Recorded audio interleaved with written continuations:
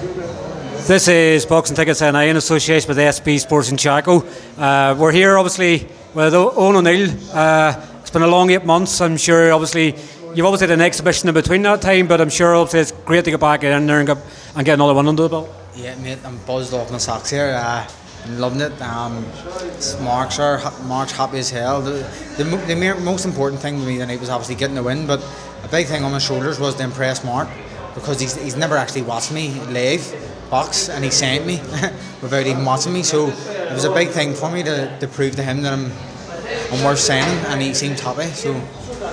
What, what do you think obviously was it about you obviously um, did obviously Mark got involved I guess anybody in North Belfast knows who Owen O'Neill is nowadays um, and obviously Mark's very much when he doesn't have shows on as well he's keeping up to date with things so I guess when he's seeing local fighters doing well and winning and obviously getting well supported why would he not want a piece of it I mean, that's it. They just flipping, the crowd out there was mental. Um, sold 90 tickets. Um, they were all singing Climble songs and it was buzzing me. That was one of the best nights of my career there, like definitely. And it was a hard fight.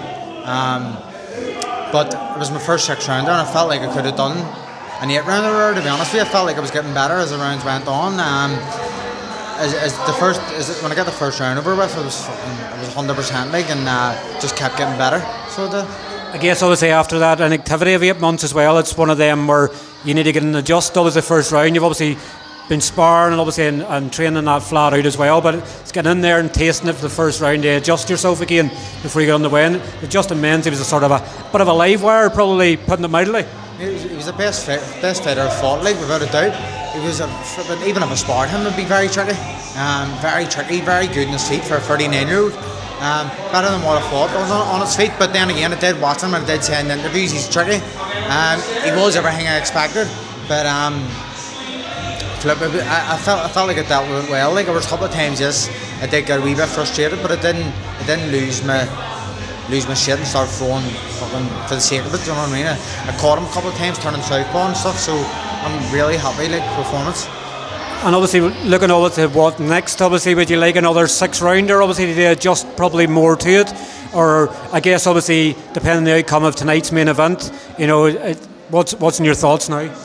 If Dom wins, maybe me and Dom next time for some sort of title, but I don't want to fight him in middleweight. Like I want to keep moving down the weight. That's what Mark spoke to me about. Um, keep chipping away at the weight.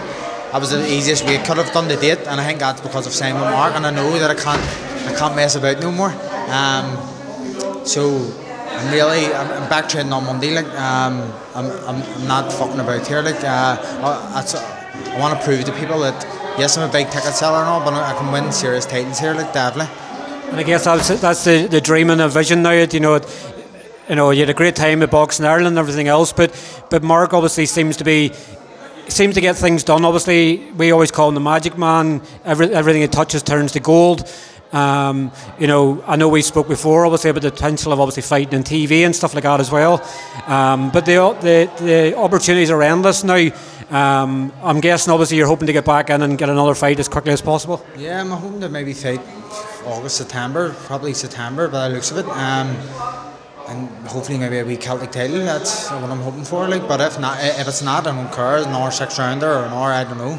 As long as they stay busy and I'm just leaving everything down the mark, I'm really having a full trust in him. Uh, he, he told me like he, it was going to be a tricky fight, and it was a tricky fight, and I came out of it better than what I thought it was going to do. Like when he was doing all that rolling and fucking, I don't know what he was doing. Um, most fighters would get. Like I did get a wee bit frustrated, but I, dealt with it well. Well, and uh, Dee was saying to me to go change southpaw when he was doing that, and I was catching him here and there. Um, so I'm really happy. I couldn't be any happier with the performance, like, and I was entertaining for the fans. I know obviously everybody's going to be entertained and, and uh, eyes on the main event here tonight. This is obviously going to be probably uploaded afterwards, but um, who, who, do you obviously reckon is going to, going to go on top in the main event? To be honest, obviously I get along with Dom really well. Obviously, hopefully we end up fighting each other. But I think Graham's pressure, he's a bit like myself, and obviously I think that the pressure will, will be at Dom at the minute because that's why I think I would be in him now. Um, but then Dom's very smart and he can pick people off. So if he, if he switched on and he could pick Graham off if he's just coming forward um, in straight lines, and Dom could be picking him off. But um, I don't know, mate. I think I think Dom or Graham Graham may, edge it, but if Dom wins, I'll be a happy man because maybe me and him hopefully next I guess it's one of them where you know fans won it uh, at the end of the day. As long as obviously if it goes the distance, it's a late round war. Whoever wins it wins it. But you know the, the I guess the main thing is you want to see plenty of action. Obviously the build up's been probably not what we'd normally expect of sort of build up. You probably have a lot of trash talk. They've been very polite to each other, but they'll leave it all there in the ring tonight. And whoever wins, depending on the outcome, you could be potentially facing the winner. Yeah, well, I, am not going to fight Graham like the middle of it, like so. I just want to push on, and if Dom gets beat, I think me and his fight could be over. But then again, I'll leave it up to Mark. As I said, I know I've always said this.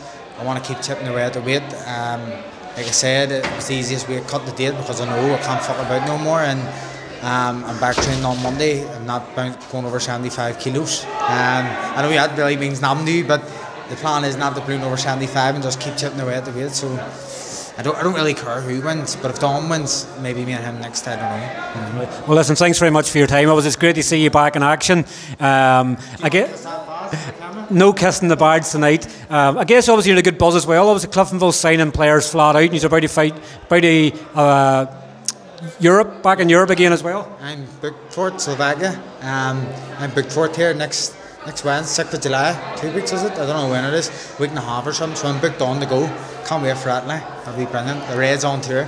Yeah, no, well, listen, thanks very much for your time and enjoy the rest of your evening. Good morning, legend, big son. Good morning.